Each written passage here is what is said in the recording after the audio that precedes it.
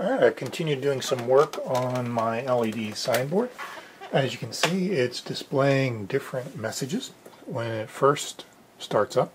I'm going to reset it here. You'll see that it tells me that the configuration is complete. Uh, so some of the different functions that I've programmed into this since I started was, as you can see, taking a message and flashing it, which is relatively easy.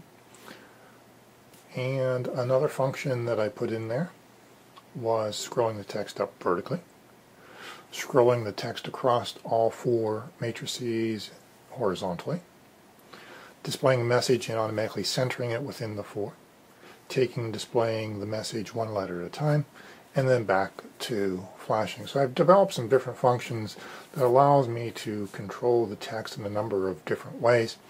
And most of them simply involve repositioning the text on the displays.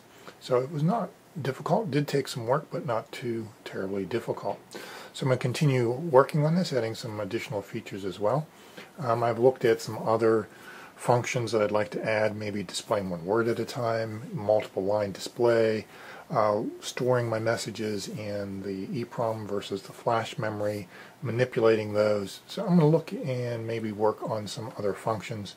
Uh, but I also uh, hopefully will get some of the parts that I need to make the rest of my signboard and start making the case for this and get this a little bit more finished and polished up. Alright, again stay tuned. I'll post updates as I get them. Thank you.